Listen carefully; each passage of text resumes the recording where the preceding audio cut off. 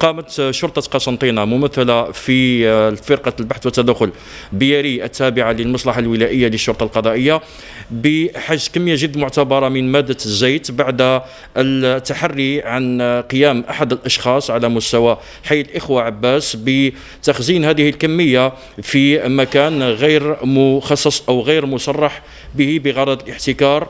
وكذا إحداث الندرة. ثم مباشرة قامت بالتدخل وحجز كمية جد معتبرة من مادة الزيت قدرت ب 11103 لتر موزعة على 953 قارورة زيت ذات 5 لتر و 3169 قارورة ذات 2 لتر.